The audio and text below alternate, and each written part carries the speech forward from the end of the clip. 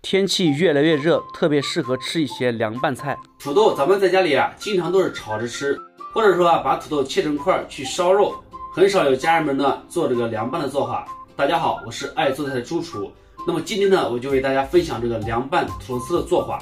土豆要选择这种黄心土豆，这种土豆吃在嘴里边口感特别好。像这种圆形的土豆，在切的时候不好切。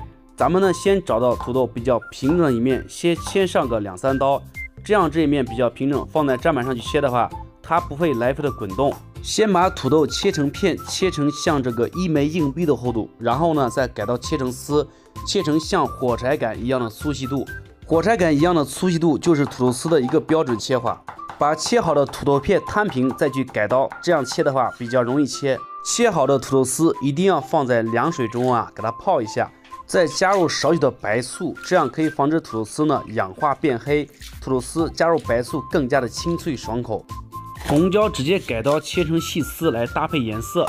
能吃辣的朋友呢，可以放一些小米辣。香菜直接切成小段备用。做这道凉拌土豆丝呢，一定少不了大蒜。大蒜咱们直接先用刀背给它拍散，再把大蒜切成蒜末放入碗中备用。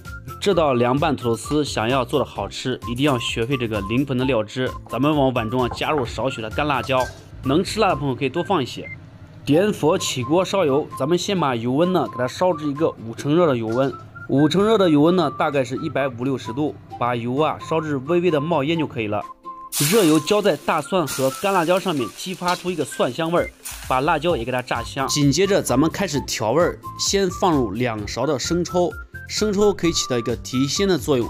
然后呢，再加入两勺的香醋，这个香醋啊和生抽的比例是一比一。再来上一丢丢的白糖提鲜，少许的盐，少许的味精，然后呢把这个料汁啊给它搅拌均匀。那么咱们这个灵魂的这个凉拌料汁就调好了，特别的简单。这个料汁啊，可以拌很多的凉菜，像拌个土豆丝啊，拌个黄瓜呀，拌个木耳啊，拌个洋葱都可以做。下一步呢，咱们开始烫土豆丝。锅中呢，加入适量的水，把水烧开。水完全烧开之后，再把刚刚切好的土豆丝呢放入锅中啊，给它焯烫一下。烫多长时间呢？咱们可以观察锅里的水。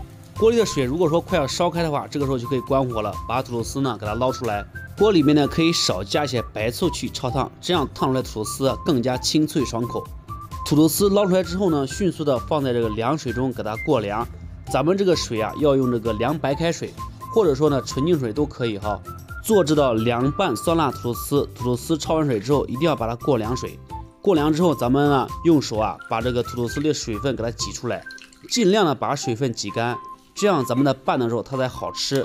再把刚刚调好的料汁呢倒进土豆丝里面，给它搅拌一下，把它拌均匀。最后呢再放入刚刚咱们切好的香菜。